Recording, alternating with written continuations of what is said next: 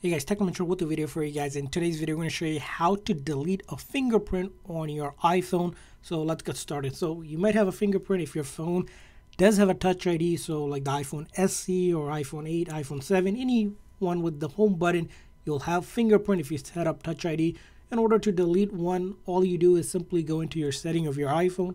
And once you go into your setting of your iPhone, just scroll down to Touch ID and passcode and you click on Touch ID and passcode and it's going to be prompting you to enter your phone's passcode. So we're going to go ahead and enter my phone's passcode here.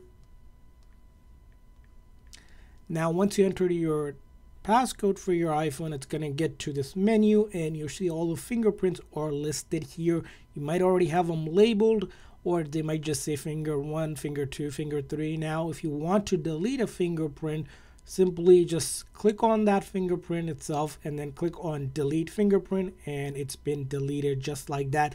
Now if you delete all of the fingerprint you will no longer have touch id so you'll need at least one fingerprint in order for you to able to use your touch id but if you do go ahead and do that you can just simply click on add a fingerprint to add a new one. So that's how you delete a fingerprint.